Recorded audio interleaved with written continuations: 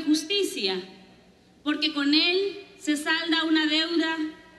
que el Estado y que esta Asamblea Legislativa ha tenido con estas familias por más de 30 años. Este dictamen ahora nos llena de mucha satisfacción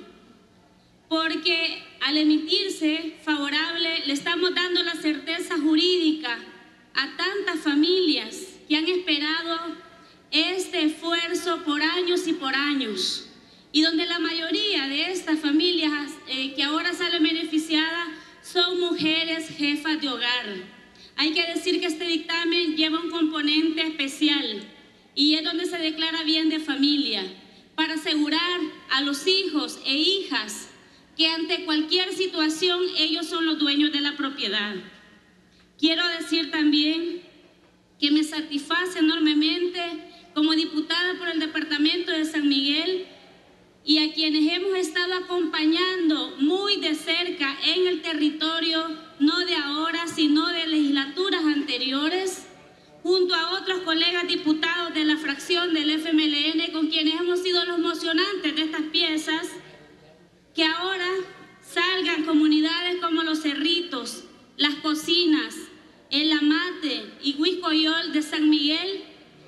Calle Nueva y Piedra Pacha del municipio del Tránsito. Con esto no les decimos misión cumplida, les decimos estamos trabajando de cerca con ustedes y les decimos vamos a seguir acompañando los esfuerzos porque no termina aquí. Hay que seguir trabajando por el acceso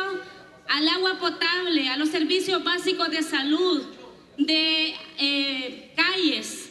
Y ahí van a estar los diputados de la fracción del FMLN. Como alguien decía, esto no fuera posible sin la voluntad de un gobierno que en estos 10 años ha entregado más de 85 mil escrituras de propiedad,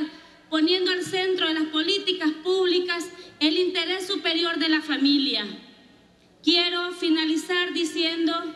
que este no es un triunfo personal y no debe de verse un triunfo que yo quiero que me agradezcan como diputado o diputada. Esta es nuestra labor, esta es nuestra función, darle al pueblo